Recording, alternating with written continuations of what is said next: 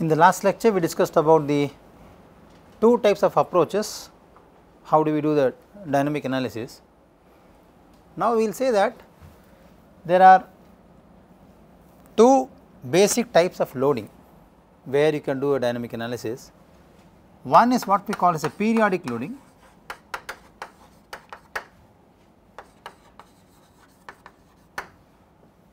the other one is non-periodic loading.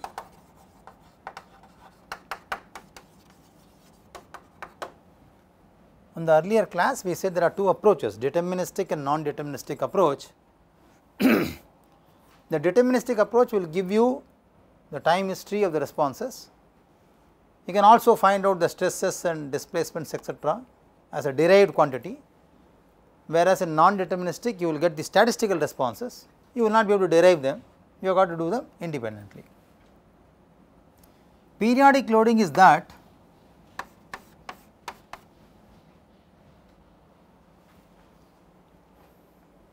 which has the same variation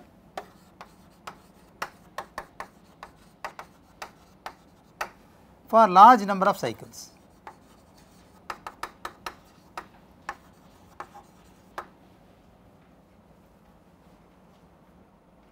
Whereas, non-periodic loading is that which is for a short duration and creates what we call impulse loads.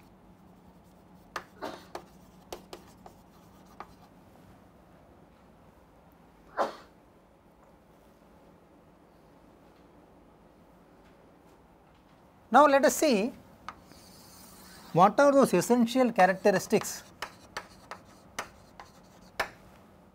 or essential features of dynamic analysis. One, the loading should be time variant.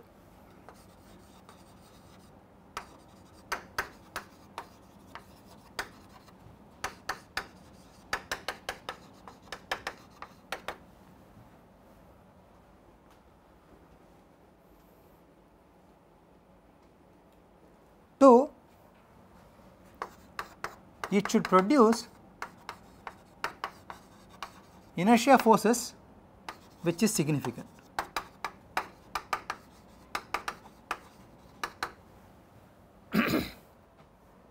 and we all know inertia force is mass into acceleration. If I take x as the displacement, the double derivative of that will be the acceleration. Now, for example, if the displacement of the system is very low, if the displacement of the system is very low and is unable to produce inertia force significantly, even though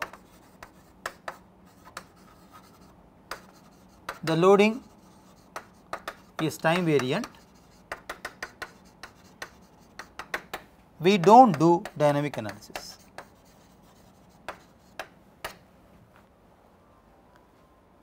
We can perform dynamic analysis only when both these conditions are satisfied. Load should be time variant and the load should produce significant inertia forces. Inertia force of course depends on two parameters, one is the mass, other is the acceleration.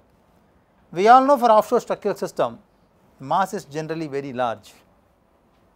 So, the question does not arise that it will not cause an inertia force at all because of the lesser mass. But there is a possibility that the displacement can be very small. I can give an example. If the structure is bottom supported, it can have a very less displacement, therefore, the inertia force can be lower. But this statement does not tell you that for bottom supported structures like jacket structures do not perform dynamic analysis, because this is qualitative, this is subjective. We simply say if the inertia force is lesser, insignificant, do not do dynamic analysis, but what is your quantification? that is not specified. Okay. However, if the structure imposes a very large displacement, you have to do a dynamic analysis. Now, that is the contraspective of the problem. So, there is no question of not doing a dynamic analysis for a compliant structure at all, but you can do a quasi static analysis for a fixed structure.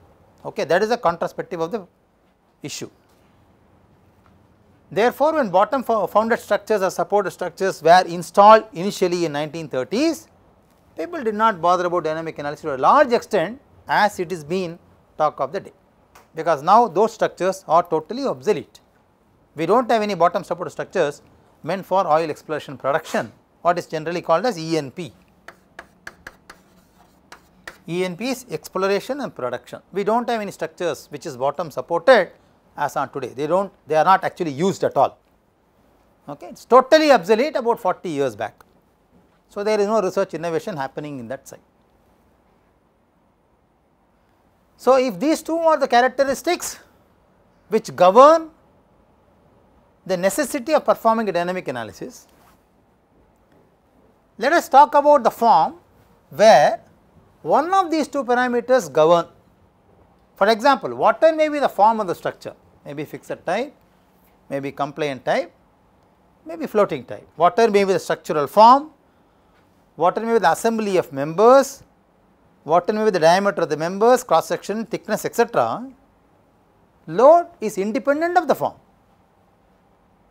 because you have no control on what kind of load should be applied to the structure. We saw yesterday a list of forces.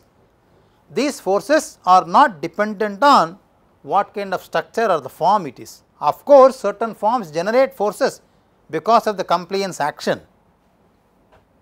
However, force is not dependent on the form, but the condition of inertia force being larger or insignificant depends on the mass. Therefore, mass should be quantified for a given form. Now, it is very interesting for all of to understand mass in general is present continuously for the entire length of the member. Okay. Now, you look at the complexity in dynamic analysis. Mass is a function of mass becomes a function of the length of the member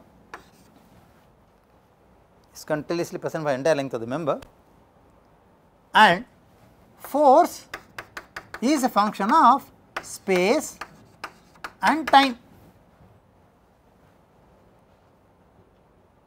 Time of course dynamic, space of course in aerodynamic or wind forces depending upon the height the z value which we saw in the last lecture the z naught value from the mean terrain quantifies the wind force. So, space variation is also there.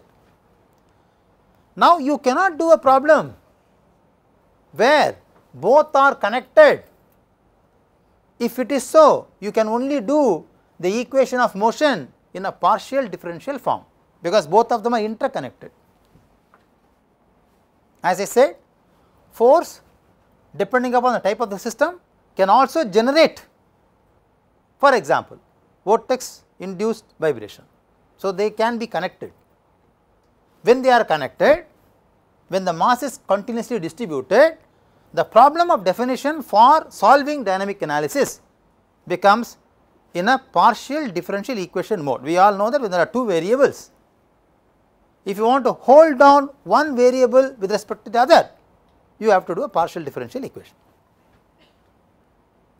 And we all know that considering the differential equation, PDEs have more complexities in solution procedures because we know for a given ordinary differential equation we have got two sets of variables and answers one is what we call as the complementary function other is called as a particular integral part whereas in partial differential equation the complexity is further large. So, people thought to make it simple one of them should be made more simpler than what we see here. So, they do not want to test the force because force is considered to be variation of time, variation in terms of space is not accounted.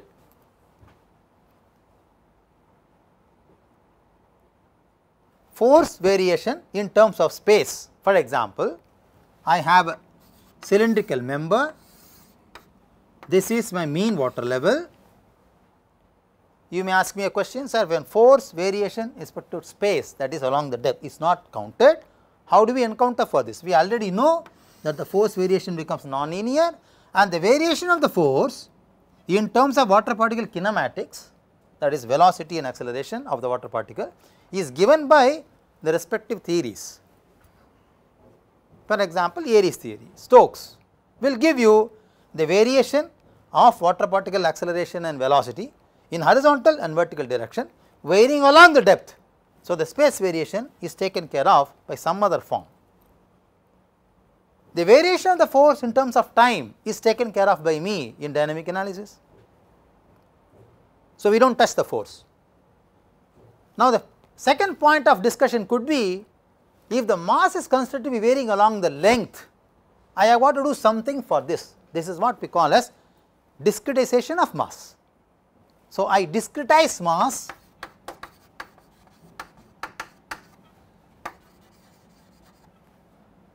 at specific points. We call this as lumped mass. So, I lump the mass at specific points. Now, the question comes there are various engineers doing dynamic analysis. One can lump the mass at 5 points, one can lump the mass at 10 points, one can lump the mass thinking that the results will be more accurate, let me lump at 100 points.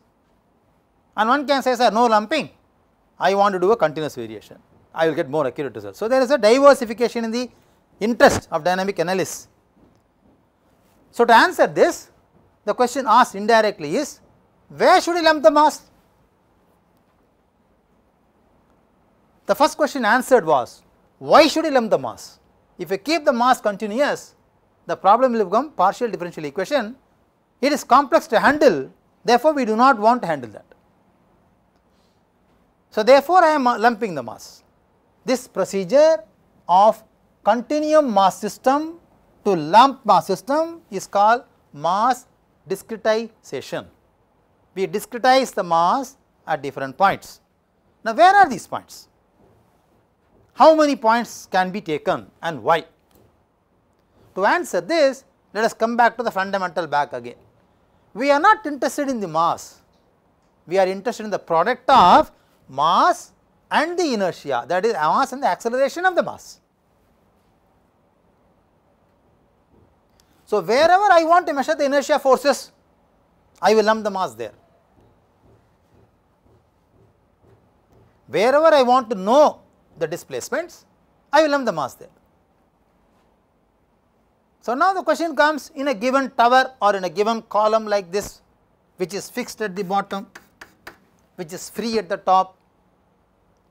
We all know from mechanics that the displacement at the bottom which is fixed here is practically 0. So, one would not like to lump the mass at this point where there is no displacement because this term will become insignificant. If you really wanted to know the maximum effect of inertia in the system, you would love to lump the mass at the point where the displacement is maximum. So, given form, given boundary condition, you automatically emerge in situations where mass can be lumped. If I have a system like this,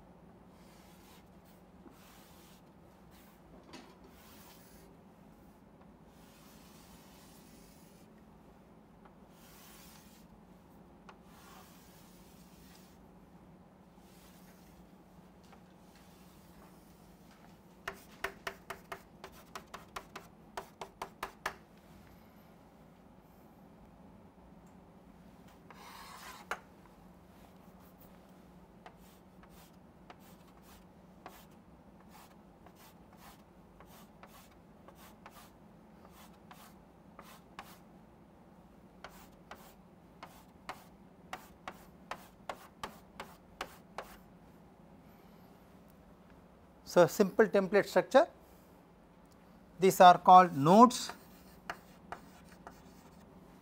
they can be also called as joints. So, one can interestingly think of an idealized model of this as a simple stick model where correspondingly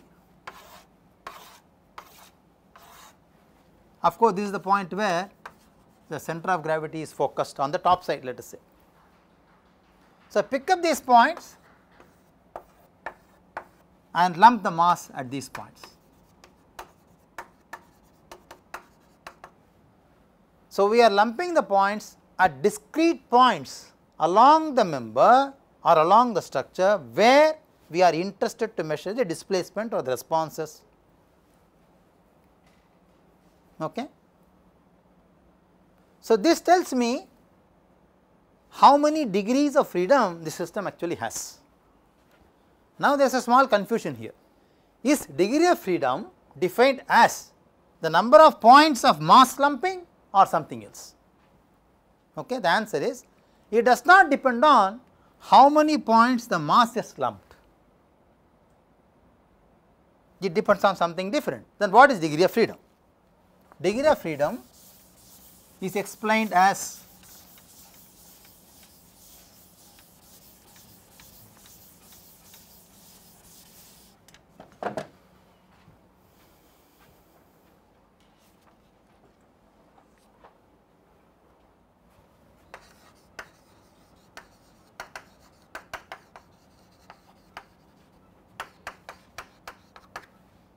is explained as or defined as.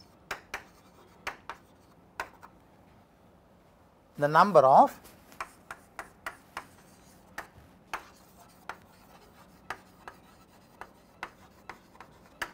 independent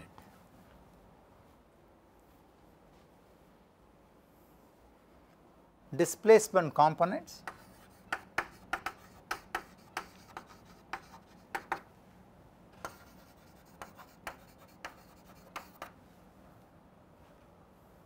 of a structural system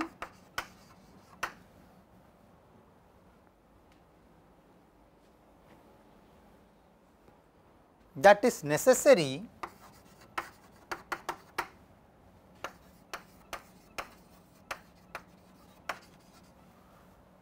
to quantify.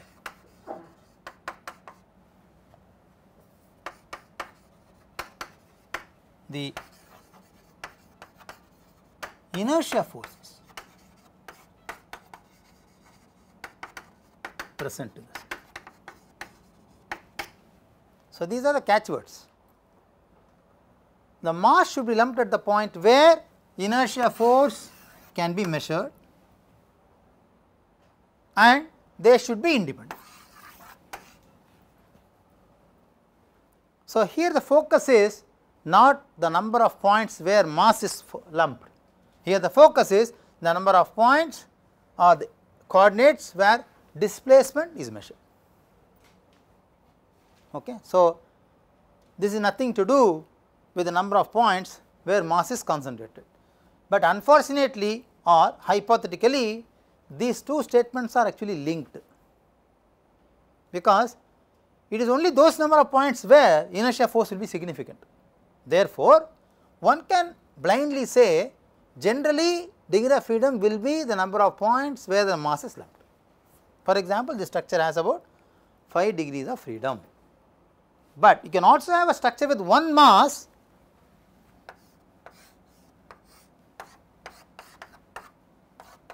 I lump the mass at this point, lump the mass at one point, but allow the mass to have acceleration in all 6 degrees of freedom. So, one lumped point 6 degrees of freedom, 6 lumped points each one has 1 degree of freedom again 5 and so on so forth. So, please do not confuse that the number of points where the mass is lumped will tell me what is the degree of freedom because here is the definition which proves this to be wrong. You can have one point where the mass is lumped, but still you can have 6 degrees of freedom for this. So, it is therefore not valid. The correct statement could be independent displacement coordinates or components which will quantify or which will help me to quantify the inertia forces present in that system. I should be able to capture the inertia force the system with the help of these independent coordinates. Whatever may be the number that would be the degree of freedom. So, expressed as DOF degree of freedom with hyphens in between that is the classical way of writing degree of freedom. Now, the question comes generally how many degrees of freedom a structural member or a system in offshore has okay, generally because if you talk of beam element there can be 4 degrees of freedom, there can be 6 degrees of freedom, there can be 12 degrees of freedom depending upon you do 2D, you do 3D analysis, you ignore axial deformation, you add axial deformation. There are many confusions in mechanics whereas in offshore structural system these are all converged. So, a single easy definition how many degrees of freedom a system can easily have. Let us see how many degrees and how are they defined.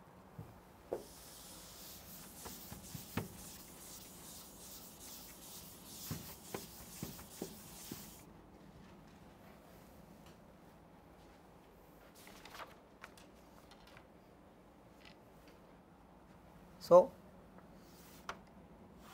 let us say we have 3 axes, is x axis, this is y axis, this is z axis. Let us say it is an origin. This origin can be anywhere in the platform. Let us say I have a TLP, this is a superstructure, these are called as column members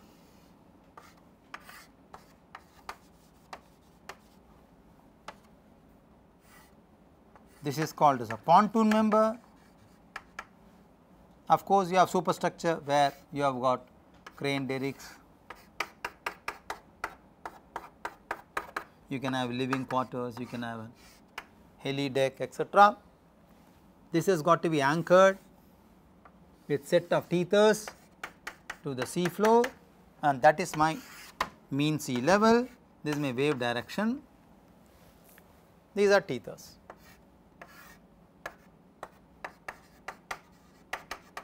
Of course, this is a seabed and therefore, this is what we call as small d which indicates water depth. And this is what we call as capital D which indicates diameter of the member essentially the outer diameter.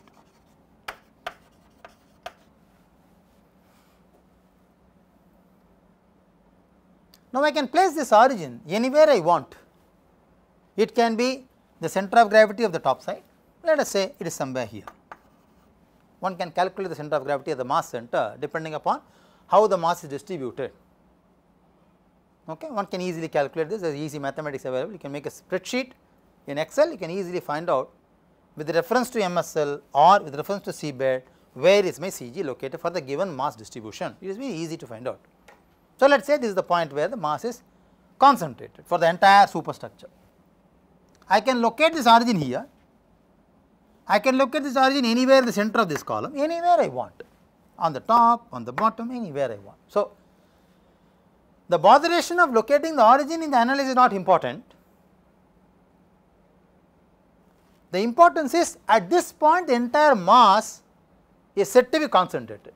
Therefore, it is unique and simple and easy to locate this origin in the same point where the center of gravity is situated. So, the entire mass is said to be concentrated. So, let us say this is the point. Now, this has got 3 axes of motion x axis, y and z axis. Therefore, there can be displacement along x, along y and along z. There can be rotation about x, about y and about z. So, the displacement along x is, is called the surge degree, the displacement along y is called the sway degree, displacement along z is called the heave degree, heave displacement. You can easily remember this because y will coincide with y, it is called sway, surge and heave. These are technical names given for displacement along x, y and z respectively. Now, I want to mark the direction of rotational displacements. Okay, I use right hand rule, I put my thumb towards the arrow direction remaining 4 fingers will show me a direction. So, I am marking it. Similarly, this way Similarly, this way I am marking it. So, this becomes rotation about x axis I call this as roll, rotation about y axis I call this as pitch, rotation about z axis I call this as yaw.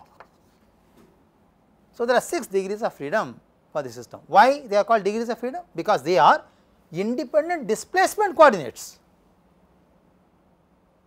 in a given system which can help me to identify the inertia force in the respective displacement coordinates and they are independent. Though the mass is at only one point, but there are 6 degrees of freedom. Therefore, degree of freedom is nothing to do with the number of points where the mass is concentrated. Degree of freedom is classically defined as the independent displacement coordinates which will help me to assess, to capture, to understand, to quantify the inertia force present in the system. Obviously, the inertia force will be generated by the external force acting on the system because inertia is a product of mass into acceleration. The system does not move, does not accelerate, there is no inertia force. Okay. So, degree of freedom is classically defined and explained in offshore structures. So, maximum we have 6 degrees of freedom. What does it mean is your matrix size in your dynamic analysis will never ever exceed 6 by 6. Whereas, in other buildings or any other structure like bridges etc., it can go very high. So, people use condensation procedure, people use banded width matrix procedure etc., to make it simple, but in this case it will not more, go more than 6 by 6, worst by worst 9 by 9. We will talk about slightly later in the next lecture, but let us say my analysis is in a closed form and can be easily handled with the known mathematics. So, having said this,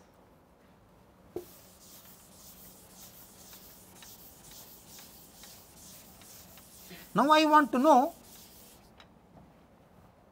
that we have agreed upon two cases. One, the loading will be periodic or it is time varying.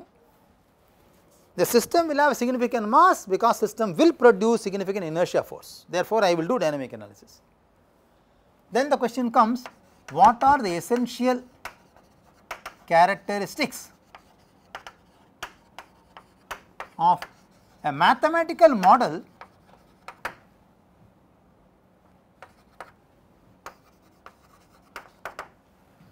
through which I can do dynamic analysis. Ideally speaking, a single degree freedom system model, DO stands for degree of freedom, single stands for 1 degree of freedom. 1 degree of freedom in sense there is only one displacement coordinate and obviously indirectly we also understand in our internal mind there is only one mass. To start with the most simple ideal mathematical model to do dynamic analysis single degree of freedom system. Now, one can have a doubt in mind when offshore platforms do have 6 degree of freedom why are we starting our discussion with single degree? If you know the procedure and basics and fundamentals and dynamics based on single degree can always apply this to infinite degree of freedom because the procedure is same. But unfortunately which is a fact I am telling openly in the class 99 percent of the classroom teaching unfortunately stops at single degree. Okay. They think that single degree is all enough. We will take the lectures to 9 by 9 degree of freedom. I will tell you how to derive stiffness matrix, mass matrix for a given offshore platform. We will solve it here in the blackboard using calculator. So, I will, I will, I will demonstrate to you how dynamic analysis can be done using a simple calculator in the class. Okay. So, essentially we will understand first single degree, then we will move on further. The moment is a single degree, we only have one thing in mind, there is only one displacement coordinate and we also indirectly have in mind that there is only one mass point. But what are the essential characteristics that must be present in a single degree? Ideally speaking, a single degree freedom system model mathematically looks like this. There is one mass.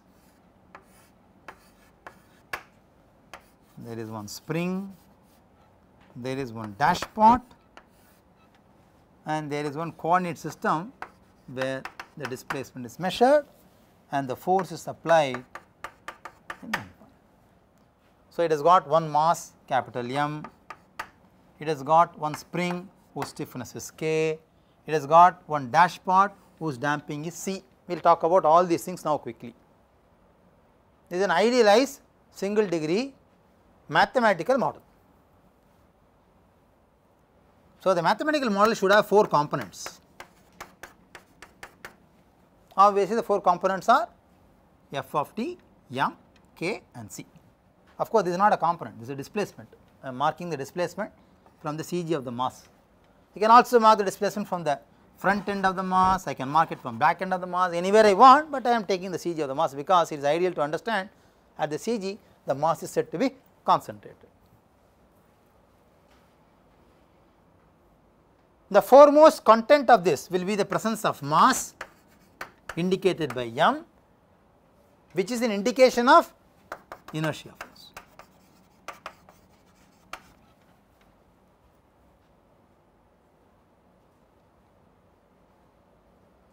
Now imagine there is a mass which is allowed to move only in one direction maybe to or fro or forth and back because it cannot move vertical there is a wheel here. It cannot move lateral because it is going to move within a channel let us say. So, it is going to move only in one direction. But as I keep on moving the body will be keep on moving right. The body has to restore its original position okay, it has to vibrate. If it does not vibrate there is no displacement generated right. Now, I want to bring the body back or the mass back to its original position. So, I should have a restoration force which is given by the stiffness of the spring. So, this will give me restoration force.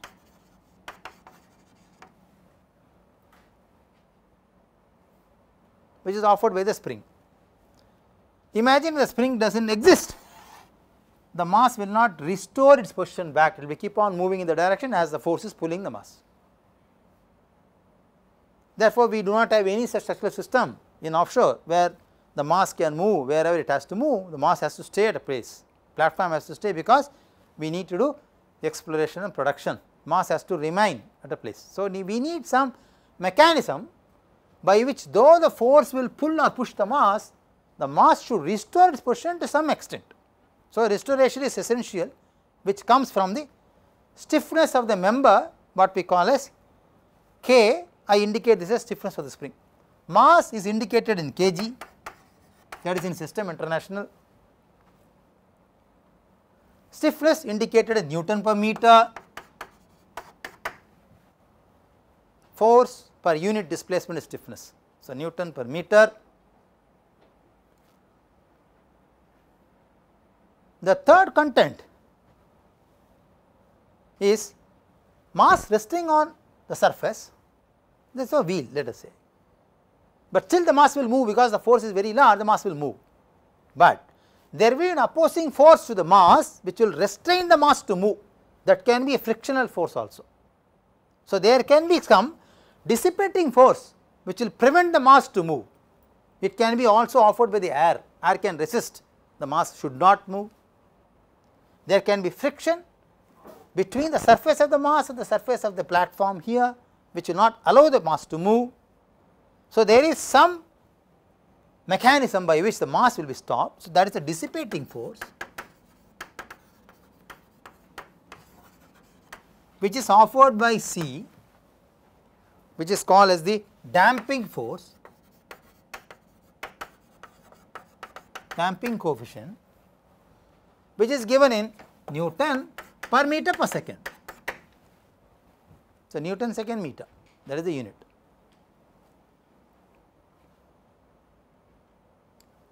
Let us say I have a system where mass is present, spring constant is available, dashpot is also available which offers me some resistance, but there is no force. So, the mass is static it is not moving at all. So, when the mass does not move x of t is not activated, x of t not activated, x double dot t does not come, therefore, no inertia force, no dynamic analysis. So, the fourth component is external force which essentially should remain as function of time because time variant is an important character in the dynamic loading. It can be periodic, it can be non-periodic, it can be prescribed, can be non-prescribed. The procedure can be deterministic, it can be non-deterministic, but it has to be remaining as a function of time.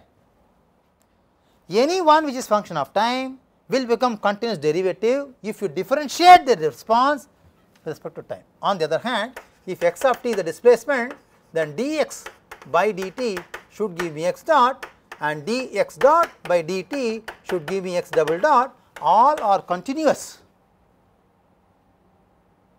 Okay. So, in this case the, the function is differentiated with respect to time. So, the whole story is happening in the time series. Okay. Now, it has become very simple when you idealize this as a lumped mass system which is discretized at the point where the mass is concentrated. Imagine the mass is present all over the media along the length, along the height and along the volume continuously. So, mass itself is dependent on x, y, z parameters and every x, y, z you got 6 degrees of freedom. So, you can have an infinite number of complications in the analysis. So, to control this people said let us lump the mass only one point, let us assume the mass moves only at 1 degree of freedom, then let us see what would be the dynamic response analysis of such systems. Suppose if you have a question in mind that is single degree freedom system is highly idealized, is it not practical? I mean can we name a single degree freedom system? Can we show, can we see, can we draw a single degree which is existing? Because if it does not exist, it becomes totally hypothetical, we should not study that. For understanding sake we can study, but as I told you 99 percent dynamics is concentrated on single degree. People explain all concepts in all research papers essentially with single degree first and then extrapolate to multi degrees. It is not vice versa. People explain with multi degree then try to make you to understand single degree. No, single degree is the alphabetic level A, multi degree can be Z. Okay. So, that is the order, but people do not have energy to carry from A to Z therefore, they stop basically at B or C and say that is all dynamics about. Okay. So, how does it practically relate to the understanding? So, characteristics of mathematical model of a single degree should essentially contain the four components without which the model is not complete. Okay. There are four essential types of single degree which is idealized in the literature. There are four types. Let us see what are they.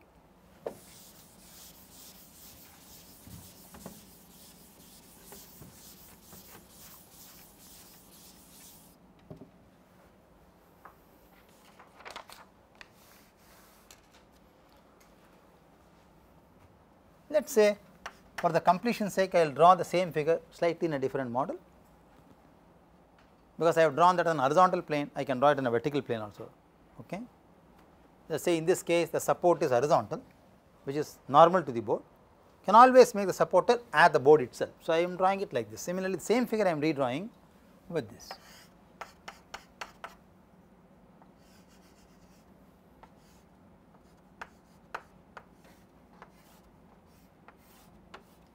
So, this is my mass, this is my stiffness, this is my dashpot, this is my x of sorry let us make it as y of t and this is my f of t. This is what we call as spring mass system, spring mass dashpot system. This is called as a dashpot.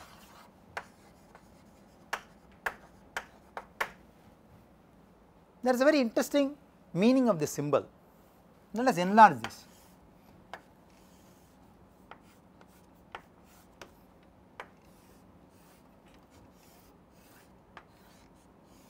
Imagine there is a fluid present inside.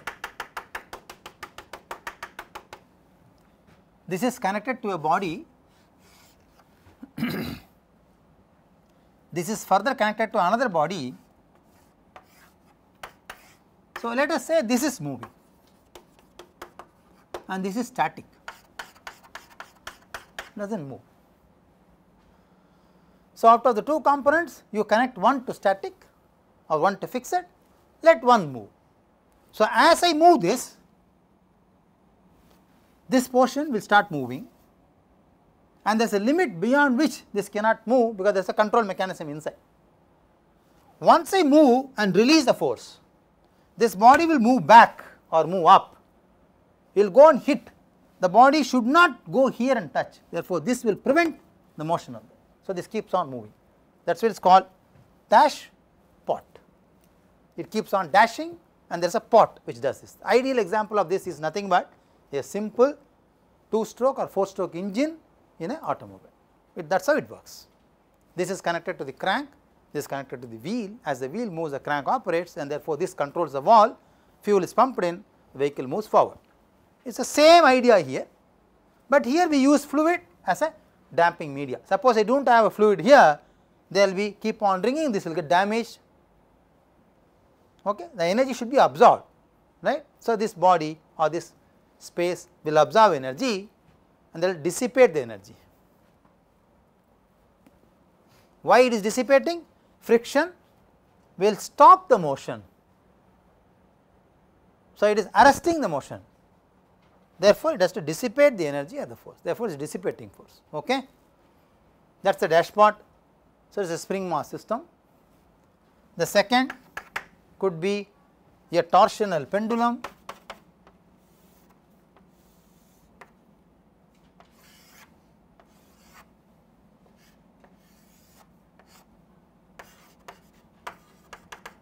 This is called a torsional pendulum.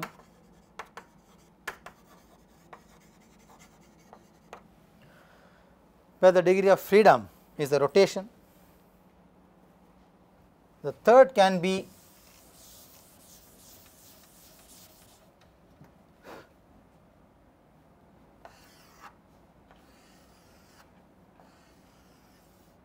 where I subtend the mass at one end I subtend a spring at the other end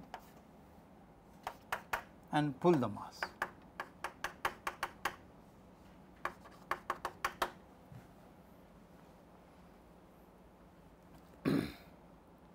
so, that is the stiffness and it is a simple cable which runs through this and of course, this is